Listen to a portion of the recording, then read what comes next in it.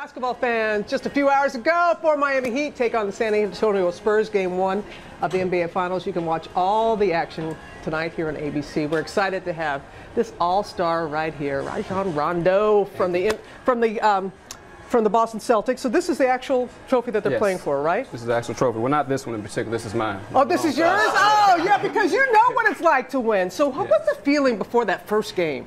Um, it's a lot of nervousness, but for the most part, it's what you've been doing your entire life. So you just go out there and you prepare well and you go to work. How excited are you as fan, as a fan of the game?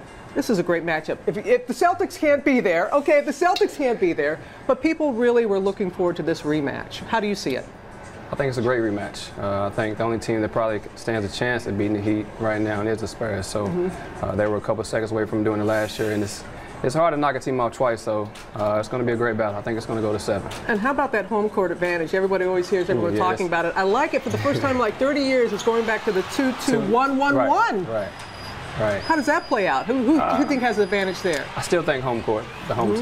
team, the team that has the best best record in the regular season, uh, has the advantage. Okay, so you're going to make a pick? You going to make a pick? Who you going with? It's hard, isn't it? It's, it's hard. It's definitely hard. Um, it's, it's seven. You know, it can go either way. It's a toss-up, but I, I might say, you know, it's hard to beat a team twice. I'd probably go with the Spurs.